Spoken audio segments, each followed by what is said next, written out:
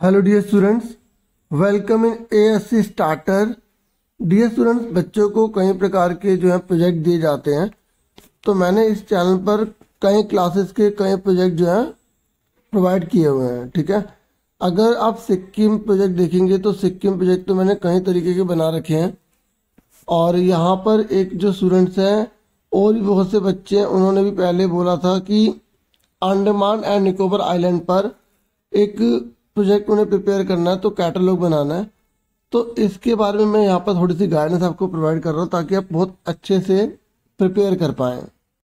देखिए, जो कैटलॉग है ना, वो इस तरीके से होता है, ठीक है? और यहाँ तो केवल दो पेज है ना, जो अंडमान गवर्नमेंट है ना तो वो भी इशू करती रहती है कई तरीके से, कि लोगों को पता चल सके कि वहाँ पर क्या क्या खास चीज़ें हैं, ठीक है?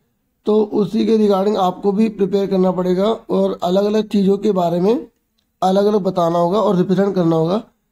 ये एक आप मैंने जो है साइट से निकाला है मतलब अंडमान निकोबार जो आइलैंड है, ठीक है? उसकी जो गवर्नमेंट की जो साइट है, आप भी देखेंगे, बहुत सी चीज़ें आपको मिल जाएँगी। तो आप इस तरीके से आइडिया ले सकते हैं और कैसे कैसे क्या क्या इन्फॉर्मेशन देनी है, वो अपने प्रोजेक्ट में दिखा सकते हैं। ठीक है, जैसे वहाँ के वेजिटेशन आप दिखा सकते हैं, वहाँ का फ़ूड आप दिखा सकते हैं।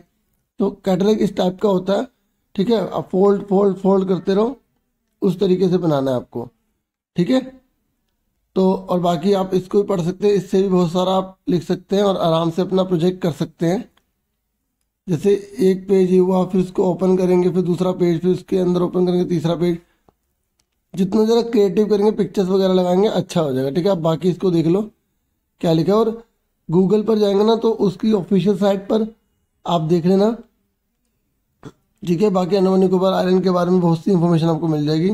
ये थोड़ा आइडिया देने के लिए मैंने ये आपको प्रोवाइड कर दिया। ठीक है, ये देख लो, आराम से। तो होप जिन बच्चों का ये प्रोजेक्ट होगा, उनके लिए वैल्यूबल होगी वीडियो ठीक है, बाकी अलग अलग सब्जेक्ट के रिगार्डिंग अगर आप वीडियो देखना चाहते हैं ना तो आप वो प्रोजेक्ट लिख के ए एस सी स्टार्टर लिखा करें। तो बाद में वाली वीडियो आप मतलब सर्च करेंगे, आ जाएगी, एक नहीं, दूसरे, तीसरे नंबर पर आ ही जाएगी। अगर होगी तो ठीक है? तो होप यही था, और thank you for watching